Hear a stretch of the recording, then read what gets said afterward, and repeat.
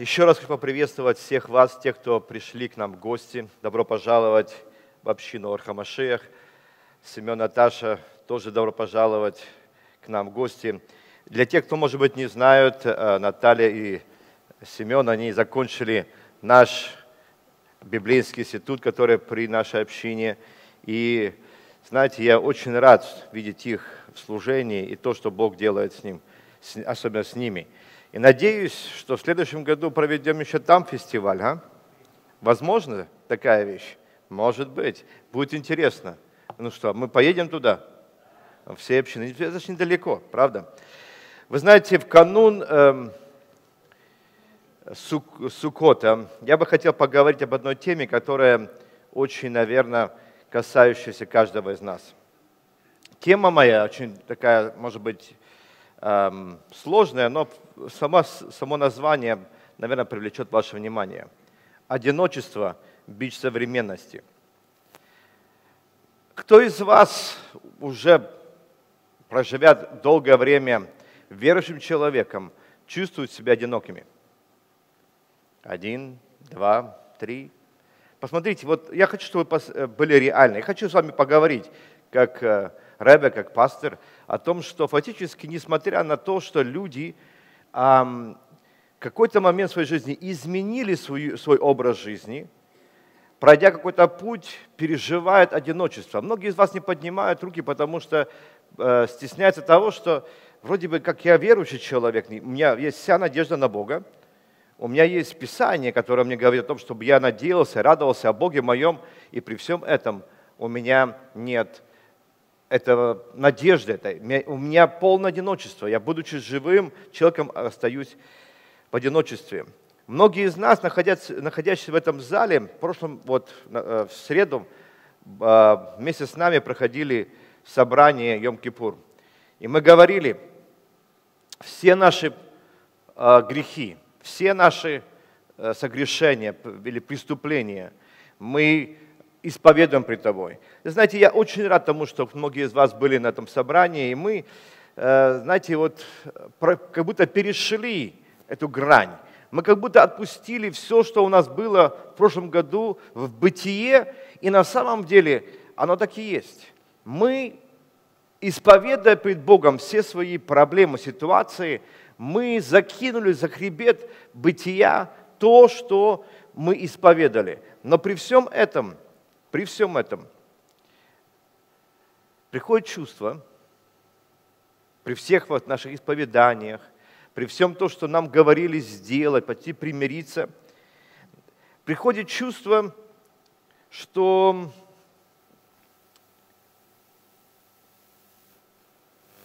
все в мире в этом каким-то образом возвращается обратно мы ничего не можем вернуть то, что мы исповедали вчера или там в среду.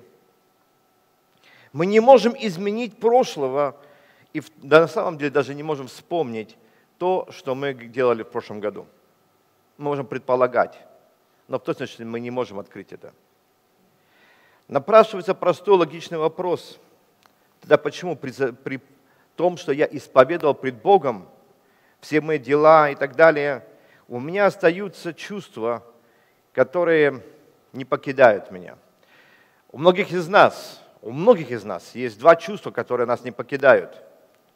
Чувство одиночества, да, потому что ты уш, ушло все.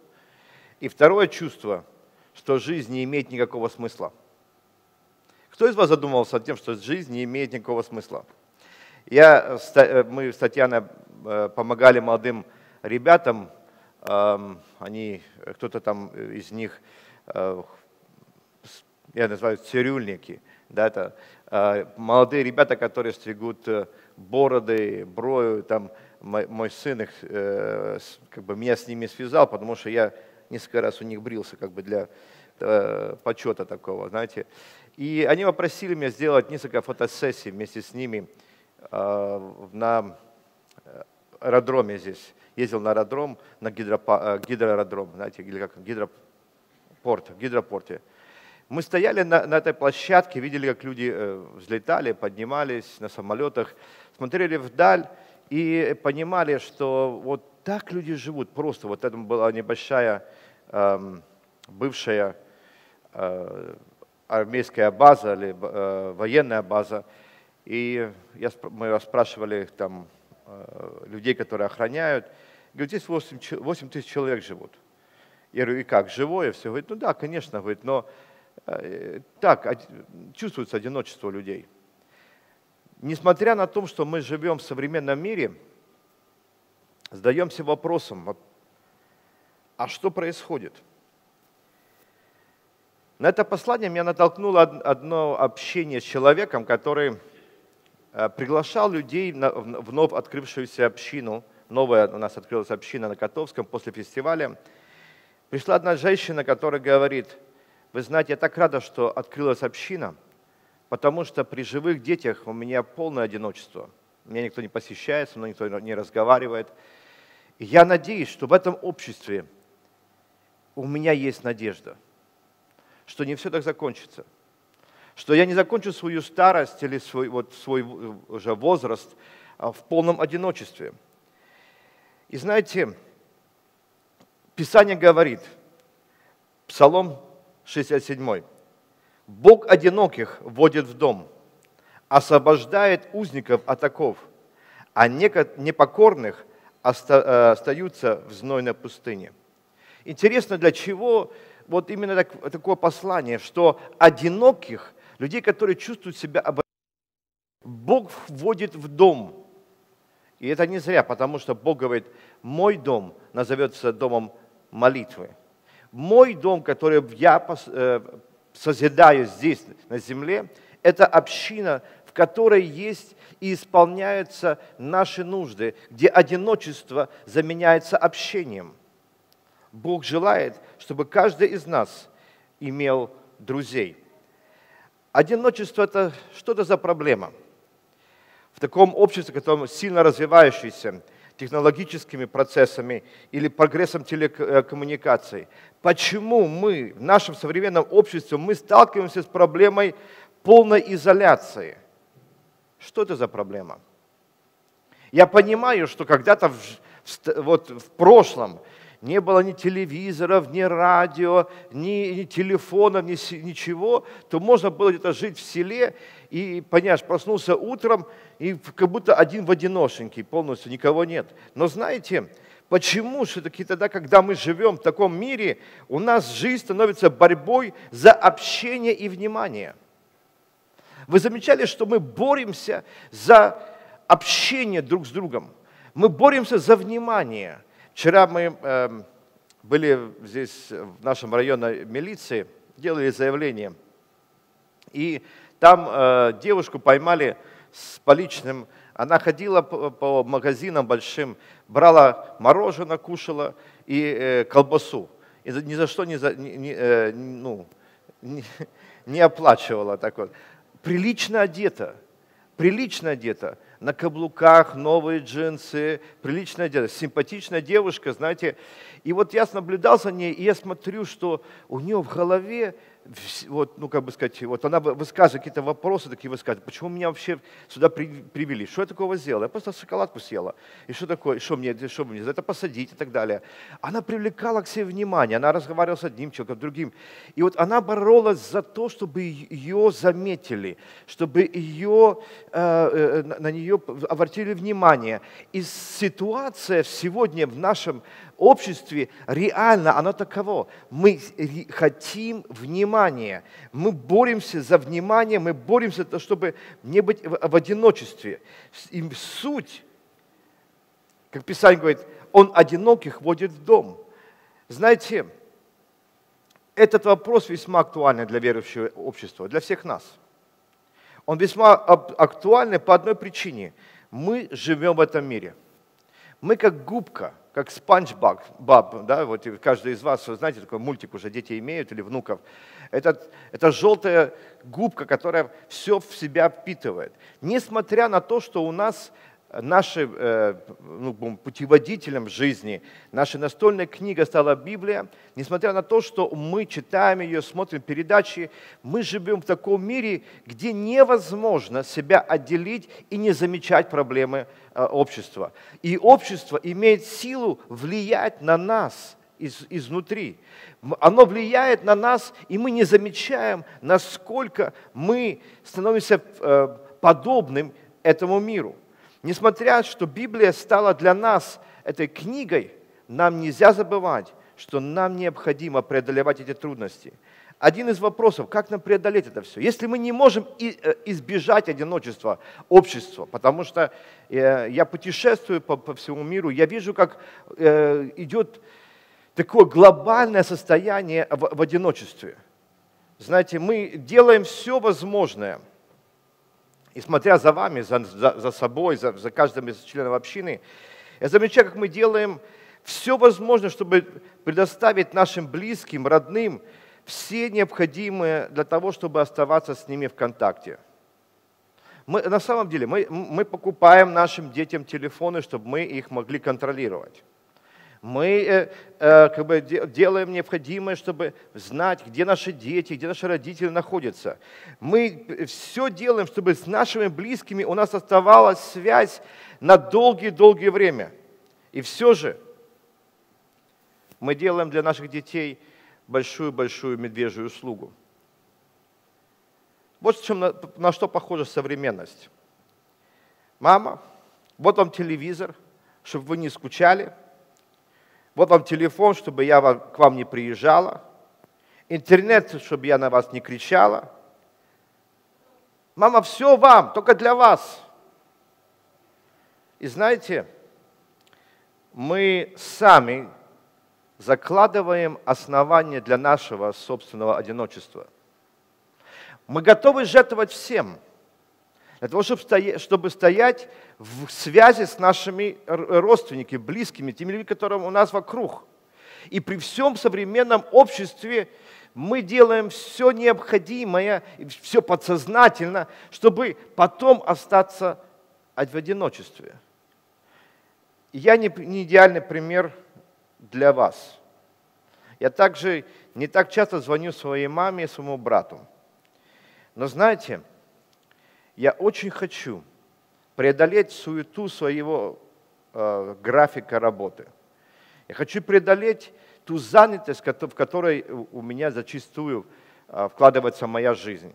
Я хочу стать человеком, который не безразличен к нашим старикам, которые живут на нашей улице, и подросткам, сорванцам, которые э, э, балагурят в следующем подъезде.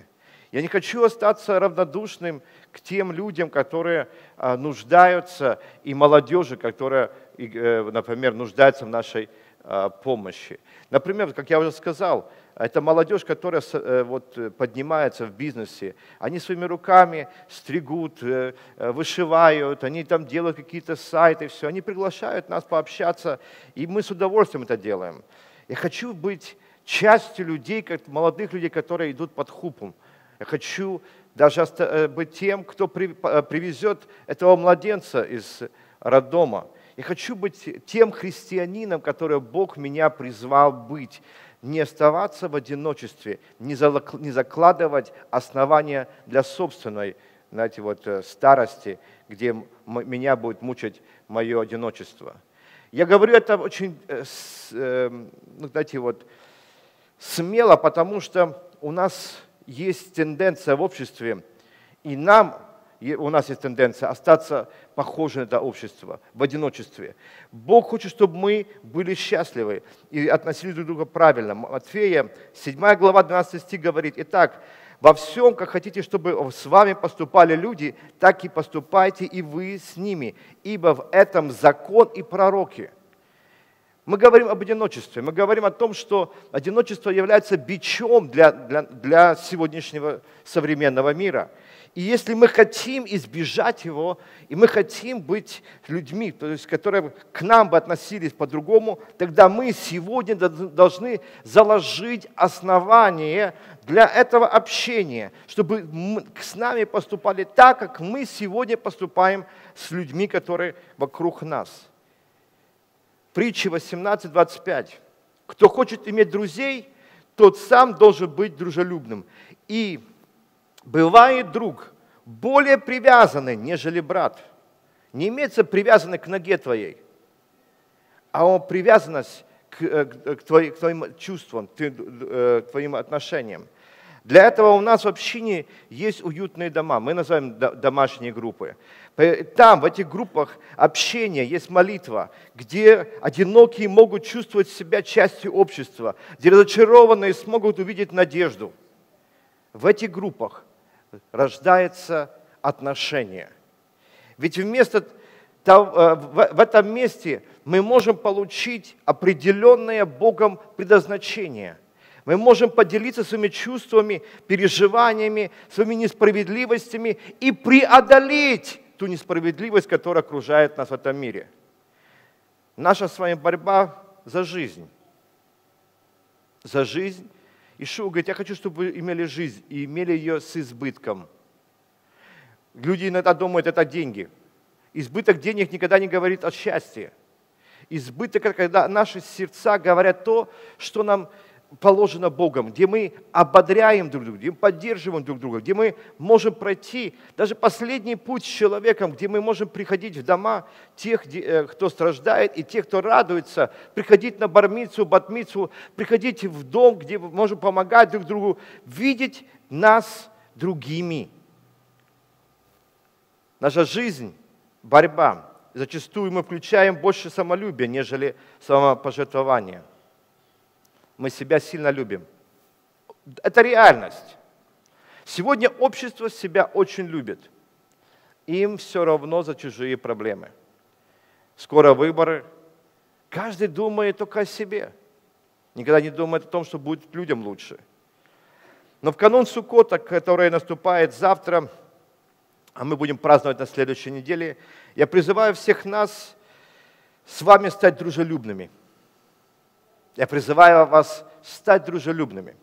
Суккот – это не просто построить шалаш, кто-то может на балконе это сделать, может быть, в огороде или в других местах. Не только это место, где мы э, проводим наш ужин или же завтрак, или кушаем там. Это приглашение людей. Это, это, это связь с людьми, которые и тебе по душе, и с людьми, которые нуждающиеся. Все, что я хочу сегодня сказать, это преодоление наших трудностей – Каждый из нас проходит трудный момент жизни, э, жизненного бытия. Каждый может сказать, ну жизнь – это сложная штука. Кто из вас скажет, что жить легко? Нет. Для тех, кто может быть подростки, там, 12 лет, для них все сейчас легко. Все легко. При всем том, они считают, что жизнь несправедлива, потому что папа с мамой наказывают их. Вы знаете, все, все-таки Каждый из нас понимает, что борьба за жизнь стала непосредственной необходимостью в, нашей, в нашем бытие. Например, Бытие 13, 3 э, глава, 17 стих. С чем связана наша борьба за жизнь? С тем, что в идеальном мире, который создал Бог для, для Адама и Евы, произошло падение. Именно падение, именно совершенный грех э, сделал атмосферу борьбы человека за выживание – и сказал Господь Бог мужчине, я запретил тебе есть плоды от этого дерева, ты же послушался свою жену и ел их. И за тебя я прокляну землю, и ты будешь тяжко трудиться всю свою жизнь ради пищи, которая, э, которую родит земля. И вот там одно слово, ты будешь бороться за свою жизнь. Ты будешь бороться за свою жизнь. Грех сделал так, что человек борется в трех направлениях. В трех направлениях человек имеет борьбу. Это борьба друг с другом, борьба с самим собой и борьба с Богом. Три направления. И вот одно из них – борьба друг с другом. Знаете, это, это чувство нам всегда известно. Это вообще как бы у нас это как принято среди людей. Однажды, вот я уже говорил в прошлый раз, в Ильичевске, когда мы проводили э, великолепный э, фестиваль, буквально неделю назад, и знаете, многие люди стояли, смотрели на ту машину, которая там была. Я им сказал, что вот этот автомобиль я его долго-долго собирал. Я вкладывал в идеи, смысл. Я делал э, э, этот автомобиль с сердцем, и он стал уникальным, может быть, своего рода. И люди говорили, о, какое творение, о, какие вещи э, кто-то там вложил. И знаете, я говорю, вы удивляетесь тому, что человек сотворил. Вы удивляетесь тому, какой, что можно было вообще с, с этого сделать. А видя друг друга, вы не замечаете, как сильно Бог вклал в вас уникальность и, и способность и красоту. Мы не замечаем друг друга как людей, потому что мы привыкли к этой борьбе, внутренней борьбе друг с другом.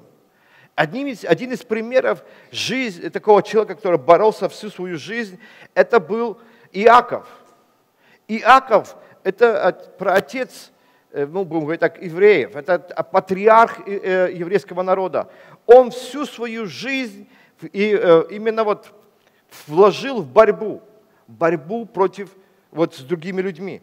Вся его жизнь сложилась в картину постоянных недопониманий, обманов, манипуляций, страхов. Каждый хотел с, э, с него что-то иметь. Вы знаете, мы привыкли к тому, что мы лично э, отвоевываем свое место под солнцем. По, по этой причине мы боремся за то, чтобы нас услышали – Несмотря на все качества нашей христианской любви, да, мы все равно боремся с недопониманием, конфликтами, без, э, безнравственностью. Мы э, устраиваем соревнования между собой, вот этот, знаете, кто лучше, кто э, умнее, кто красивее, кто худее, кто может вообще интеллектуально больше создался, у кому какое место иметь в служении, не в служении, в лидерстве, без лидерства в этом мире. Мы видим другого человека как человека, с кем можно будет поконфликтовать. Нас всегда толкают на, на борьбу с друг другом, разочарование в других людях. И некоторые люди разочаровываются в нас. Яков имел множество проблем с братом своим, Исавом. Это была братская борьба. Вы знаете, Яков имел проблемы со своими женами – большие проблемы со своими женами. Поэтому, честно скажу, э, почему вот, знаете, если почитать, почему не, нужно иметь много жен, что э, полигамия, она запрещена, можете почитать 30 главу Бытия. Там вы поймете, что на свою голову имело все. Ну, смотрите, вы можете сказать, ну ведь Богом, ну как бы он же так ну, разрешил, типа, иметь много жен, рабство. Ну, конечно же, в Библии написано, что там было насилие, убийство. Но разве к этому Бог благоволит? Есть многие вещи, которые описаны в Библии, но к этим вещам Бог не благоволил. Он открывает сущность человека для того, чтобы мы смотрели в это зеркало и не совершали таких же самых проблем. Ситуация, она очень проста. Следующая борьба, которую мы ведем, это борьба с самим собой. Наибольшая, э, наверное, проблема – это когда мы боремся с самим собой. У нас люди, которые, вот мы с ними боремся с каким-то, по каким-то позициям, на, на работе, э, в служении, какие-то еще в домашних группах, в своих семьях. Самая большая проблема – это мы с, с вами. Внутренняя, внутренняя борьба. Наиболее, и наиболее страшная, наверное, когда мы переживаем то, что другие люди переживают каждый день мы с вами боремся с самим собой больше всего. Мы боремся за собственные страхи. Мы переживаем за ошибки, наши искушения. Мы боремся за искуш... Э, с искушением, которое мы проходим. Мы боремся за несовершенство, которое у нас есть. Мы боремся с нашим, с нашим осуждением, нашими сожалениями, слабостями, страстями, гневом, несдержанностью. Мы боремся с грехом, который внутри нас, и мы, и, и мы на самом деле иногда проигрываем ему. Мы постоянно боремся. Мы боремся за собственное э, с манипуляцией и, и унижением. Мы боремся с гордыней и тщеславием. И я вам покажу один из примеров из Писания. Рав Шаул, Павел, послание к Римлянам пишет такие слова. «Ибо мы знаем, что закон духовен». Он сам о себе говорит. Он говорит о борьбе, которая у него внутри создается. И он говорит, «Ибо не понимаю, что делаю, потому что не делаю, что хочу, а что ненавижу, то делаю». Он говорит, я постоянно в борьбе, в которой нахожусь. Если делаю то, чего не хочу, то соглашаюсь с законом, что он добрый. А потому уже не я делаю, но живущий во мне грех. Ибо знаю, что не живет во мне, то есть плоти моей добрый, потому что желание добра есть у меня, но чтобы делать онные, то не нахожу. Вы услышите борьбу, которая ведет Рав Шаул. Доброго, которого хочу, не делаю а злое, которое не хочу, делаю. Постоянная борьба, которая внутри нас. Ибо по внутреннему человеку нахожу удовольствие в законе Божьем, как каждый из нас. Мы по внутреннему своему человеку приходим на собрание, мы идем в домашние группы, мы читаем Писание, мы поем, мы делаем все необходимое, потому что мы любим Бога, любим Его, его закон, но по внутреннему человеку нахожу, но в членах моих вижу иной закон, противоречащий или э, противоборствующий закону ума моего. Бедный я человек. Кто избавит меня от этого тела? Вы знаете, когда мы говорим о проблеме одиночества, а вот эта проблема одна из того, что мы видим. Мы часто делаем то, чего не хотим, и наоборот. Мало того, что мы имеем постоянную борьбу по отношению с другими людьми и даже сами собой, разочаровываемся в самих себе. Мы разочаровываемся в людях. Но знаете, все это, то, что мы имеем разочарование в людях, например, борьба с людьми и самим собой, имеет основание в нашей борьбе с Богом. Удивительно. Мы не, даже не думаем об этом. Мы, мы, мы делаем произвольное э, того, что мы внутри себя переживаем. Самое наверное, скрытое состояние, когда мы боремся с Богом. Я не могу искренне сказать, что наши проблемы с другими людьми, с собой, они эм, просто так проходят. Я могу утвердить то, что они вытекают из наших отношений с Всевышним. Мы подсознательно имеем конфликт с Богом. Борьба с другими людьми всего лишь проявление того, с чем мы не согласны с Богом. Вы спросите, почему мне, зачем мне бороться с Богом? Если Он великий, сильный Бог, зачем мне бороться с Богом вообще, как бы, по сути? Я вам скажу почему. Есть две причины. Первая причина – мы сомневаемся в Его мудрости. И вторая – мы хотим руководить собственной жизнью. Две вещи, которые вводят нас в конфликт с Богом. То, что мы, э, на чем мы боремся с Богом. Первое – это э, сомневаемся в Его мудрости. И второе – мы хотим контролировать собственную э, жизнь. Как мне объяснить это? Как я как, как это вижу? Мои дети, мои личные дети никогда не сомневаются в моей отцовской любви. У меня нет причины, как бы сказать, по-другому. А я все делал, чтобы мои дети чувствовали мою любовь. И, и, и ваши дети также. Э, мы, дети наши чувствуют нашу любовь. Они не могут отречься от нее, она есть. Но знаете, где они э, имеют с нами борьбу? Они сомневаются в нашей мудрости. Что я имею в виду? Мы никогда, наши дети никогда не сомневаются в том, что мы их любим. Но когда мы им даем совет, они всегда думают, М, папа в такой ситуации никогда не был. Но в такой ситуации, как я они никогда не смотрят на наш опыт, на наши советы из того, что мы э, из вот, личных э, отношений с Богом, да, от, даже Божьи откровения, которые мы получаем от Бога, об вещах, которые мы имеем относительно их дел, дел. Мы даем им мудрые советы, и они говорят, мы вас любим, но в такой ситуации вы никогда не были. И делают по-своему. Напоминает ли это нас? с вами. Конечно. Мы, никто из нас не сомневается в Божьей любви. И даже знаю людей, которые говорили мне, знаете, ну и что, что я вот так поступаю по жизни? Но меня же Бог любит. Я же от Него не отрекаюсь. Он меня так сильно любит. И все как бы, и Бог мне не хочет злого, не желает мне э, худого ничего. Я говорю, все правильно. Но советом ты его пользуешься? Ну, Наши дети, когда потом попадают в какие-то ситуации, по-своему сделали, приходят или мне говорят, надо было поступить, как ты сказал. Мы приходим к Богу, потом плачем и говорим, надо было поступить так, как ты сказал.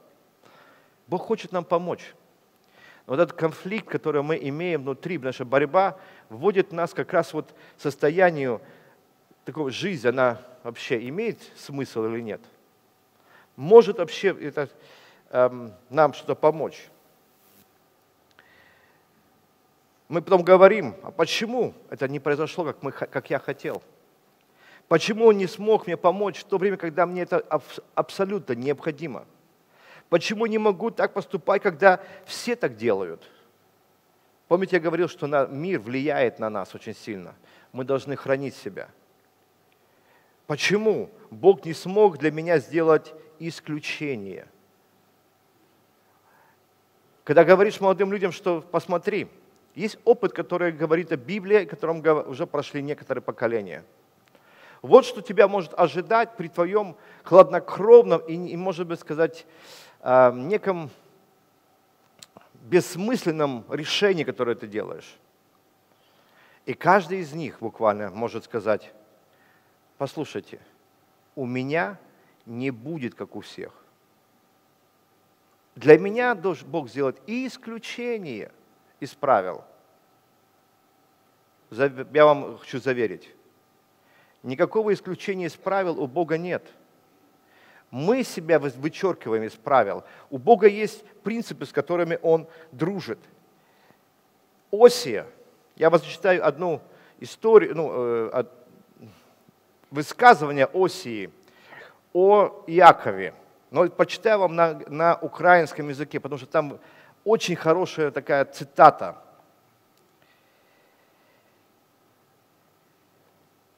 Він в утробі тримав за п'яту свого брата, а в силі своїй він боровся з Богом. На русском говорит, он в утробе матери как бы э, боролся со своим братом, но э, как бы, э, вернее, там, как там, да, держал его за пяту. Но здесь вот имеется вот вопрос во второй половине, а в силе своей боролся с Богом будучи еще в утробе матери, он решал свой конфликт. В утробе матери он держался за пяту брата, и в это же время он имел эту борьбу с Богом за свое первородство, за свое влияние, за свое место в истории. Как много из нас похожи вот на этого человека, который стал, конечно же, потом праотцом всего Израиля. Услышьте, у нас есть всегда причины бороться с Богом. И знаете, через время, проходит время, и Иаков встречается. Мы называем это пануэл, борьба, которая происходит с Богом. И то там написано, некто пришел и боролся с Богом. И Иаков при всей ситуации, которая он и, и происходит у него в жизни, у него уже есть семья, у него есть богатство, у него есть у него люди. И Бог говорит, пришло время тебе возвращаться в дом отца твоего, то есть в землю, которую я тебе обещал. И он вспомнил, что его брат ищет его жизни, ищет его смерти, фактически. Что делает Иаков? Он разделяет – свои станы и идет к Богу, как многие из нас идут к Богу. Написано, что он боролся с Богом.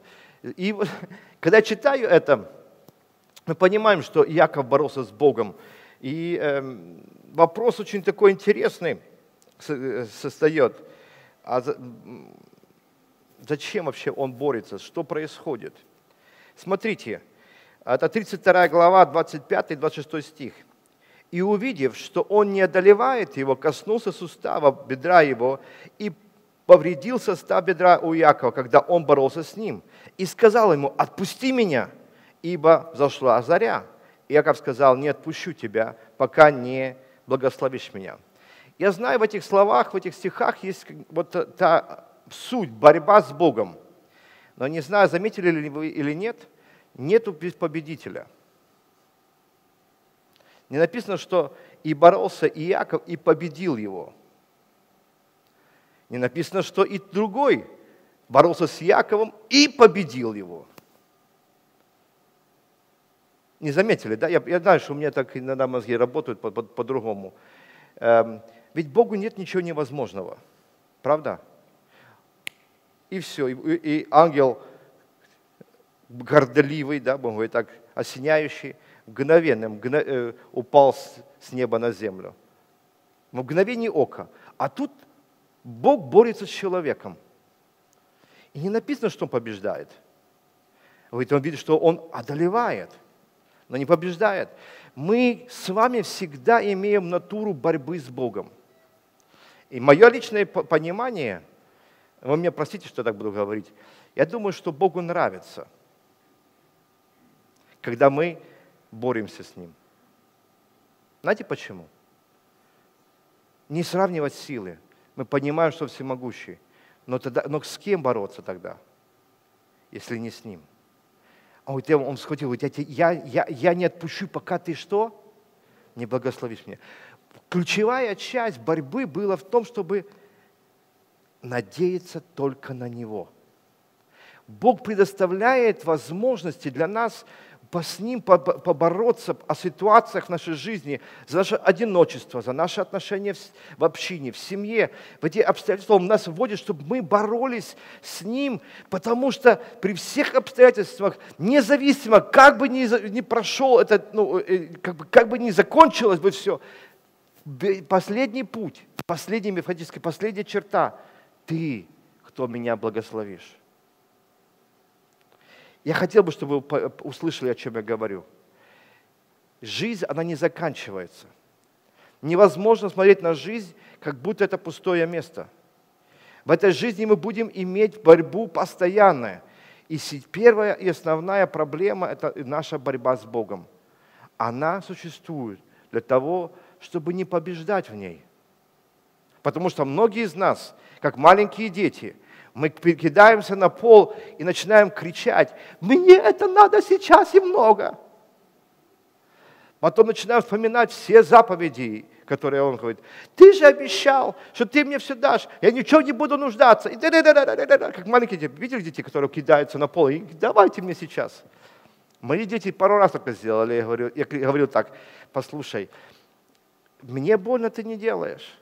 Ты знаешь, что нужно кричать громче, чтобы тебя услышали. Я помню, как это было.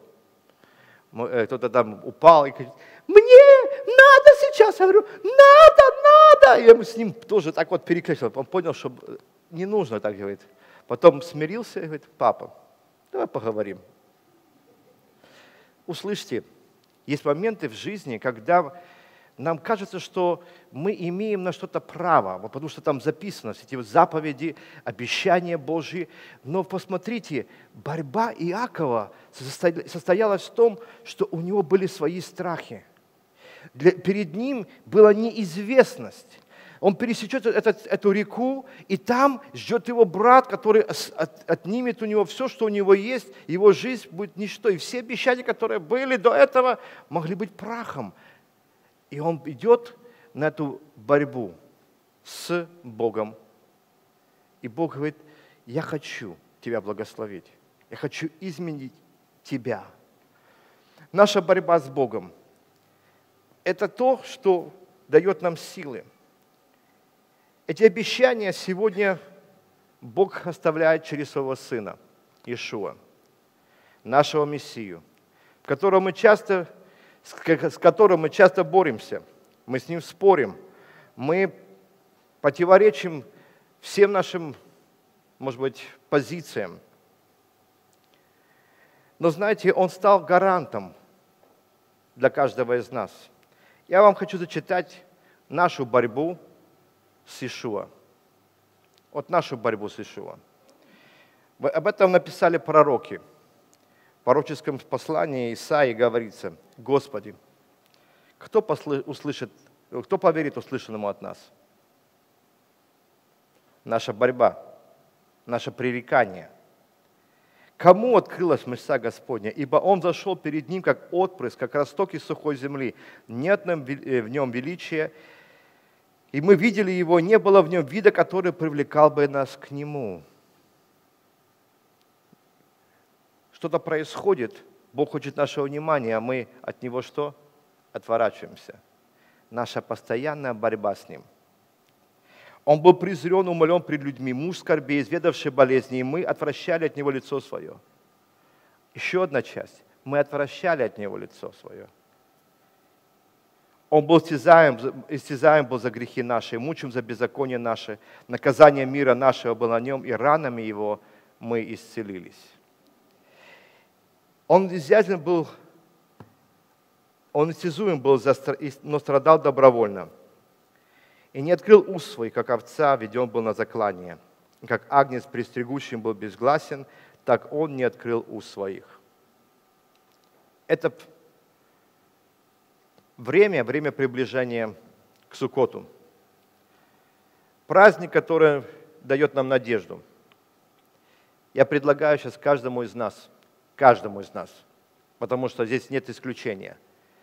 Мы боролись с Богом, мы боремся с Богом постоянно – и такое иногда приходит чувство, что вся жизнь вообще ничего не стоит. Она никому не нужна. Чувство одиночества, которое у вас есть при всех ваших телефонных связей, телевизоров, общения, интернета, оставляет доброго. Еще хотелось бы, чтобы оно изменилось. Проблема зачастую лежит внутри нас – я уже говорил, мы, мы сражаемся друг с другом, с собой. Но давайте решим самую главную проблему – наши отношения с Богом. Йом-Кипур прошел.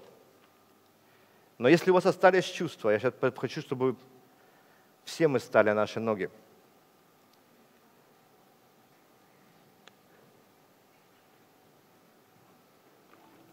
Если вы устали бороться с Богом, давая Ему реальные вопросы. Почему ты меня не предостерег, не предостерег в этой ситуации или в той?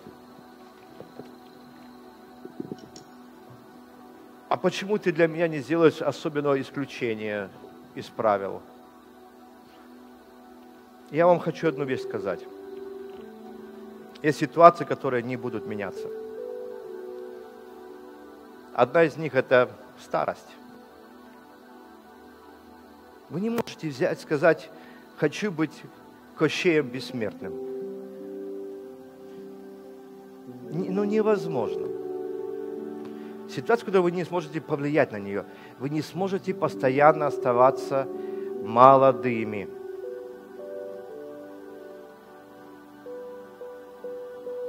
Или нет? Подольше. Знаете, подольше. Главное, чтобы с разумом дружить. К своей старости. С разумом дружить это очень важно. Я молю Бога, чтобы я умер в здравом уме чтобы мне это самое, не, за мной не ухаживали, не, не убирали за мной. Это ж, посмотришь со стороны, это же стыдуха такая полная. Поэтому я хочу лучше умереть, знаете, как вот спокойно, с Библией в руках, но не в, не в собрании, потому что потом для вас будет проблема же, понимаете, что вы, что умер человек прямо на служении. Вам же отвечать, мне уже не нужно, мне будет перед Богом поговорить. Есть вещи, которые не меняются, могут не измениться. Например, здоровье ваше. Когда-то в жизни э, вы сделали огромную ошибку, которая Бог говорил, не нужно. Но не стоит рисковать, не нужно думать, что все так вот просто будет. И у вас есть состояние вашего здоровья, которое, ну, знаете, вот, вот только великое чудо, чудо Божие может это изменить. Я, я, я не хочу унижать вашу веру, я не хочу вас, знаете, крушить, но я хочу вам сказать, что от того, что изменится оно или не изменится, ваши отношения с Богом не должны быть постоянно в, кон, в контре. Если ты мне это не дашь, то я не буду тебе служить. Если ты мне это не предоставишь, то я вот упрусь вот так вот. И постоянно иметь конфликт с Богом не стоит. Он Бог. Он Бог. Нету выигрышев. Вы не выиграете в своей борьбе с Богом. Но вы приобретете. Приобретете Его благоволение – вы приобретете Его руку помощи. И когда тебе очень сложно станет, подойдут к тебе те, кто с тобой дружелюбны, с кем ты дружелюбен был, с кем ты искал отношения, там, где ты строил домашнюю группу. Они придут к тебе и дадут тебе тот кусок хлеба, починит твой холодильник. Они придут к тебе в гости, посетят тебя в больнице – может быть, привезут твоего ребенка вместе с тобой из родильного дома. Пойдут специально. Это то, что Бог хочет видеть в своей общине. Одиночество. Как оно побеждается. Так, когда ты приходишь к Богу, и ты говоришь, Аба, вот я, ранами твоими я исцелен – мои грехи ты понес на себе. И все, что сегодня нужно для тех, кто, может быть, не примирился с Богом, может быть, до сих пор еще боретесь, вы не соглашаетесь с этим, у вас уже все болит, все ваши внутренности, как у Якова его бедро, а вы говорите, все равно буду бороться. Он говорит, ты мне скажи, что ты хочешь? Не, я буду бороться.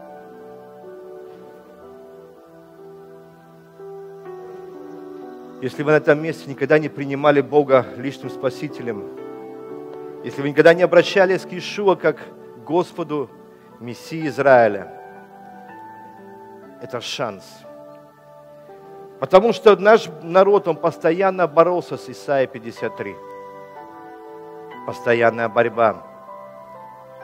Тот ли он или нет? Что мы получим, когда мы примем его личным спасителем? Я вам говорю то же самое, что получил Яков.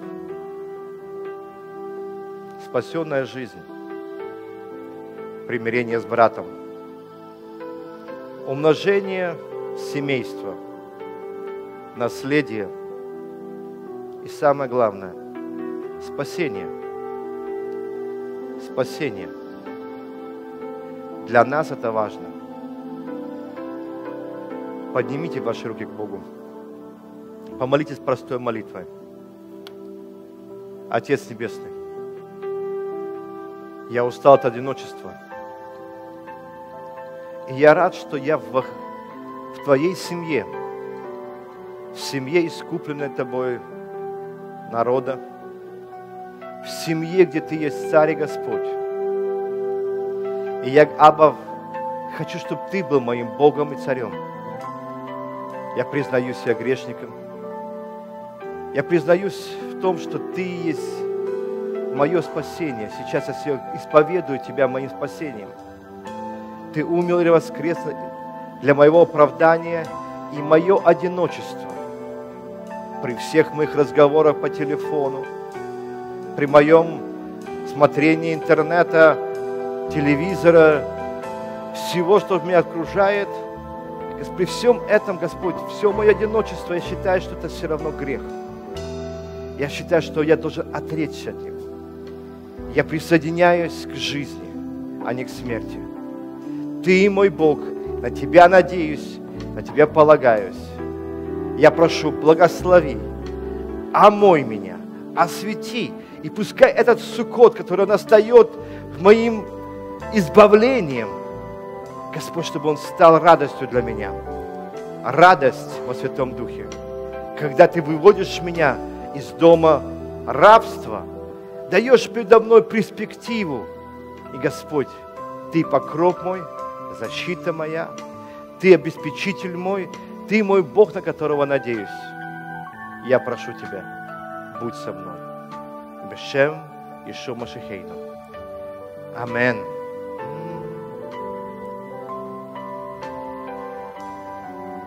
Yeshua.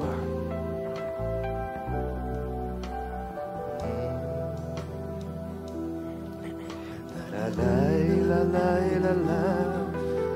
La la la la la la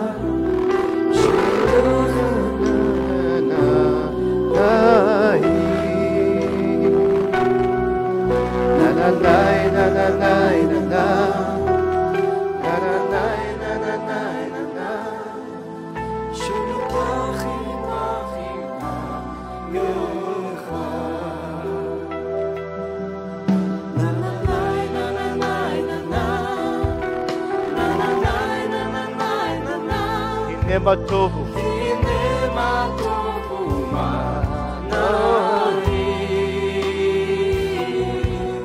на на най на на най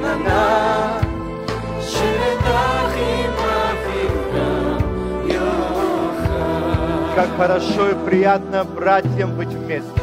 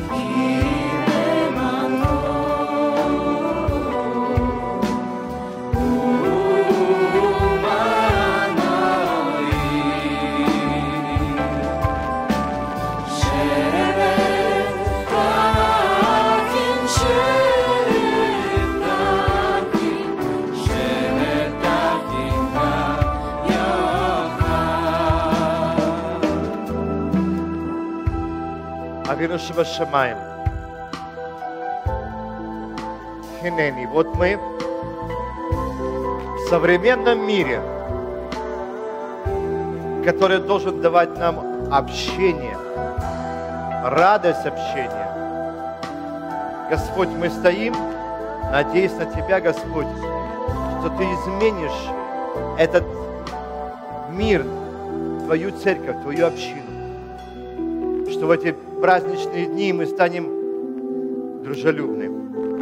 Наши теплые дома откроются там, где одинокий войдет, получит утешение. Где придет вдова, получит вознаграждение. Где придет сирота и будет чувствовать себя усыновленным. Господи, сделай нас тем телом Мессии, которое будет не, не подаваемо переменам этого мира. Господи, благослови нас. И пускай Бог Авраама, Ицаха Якова, Бог отцов наших, презрит на Тебя и благословит Тебя. Да обратит свое лицо к Тебе и помилует Тебя – улыбнется тебе и даст тебе шалом, мир. Пускай всякое одиночество уйдет. Всякое разочарование в жизни уходит. И, Господи, надежда на Тебя, она не постыжает. Евеха Адонай,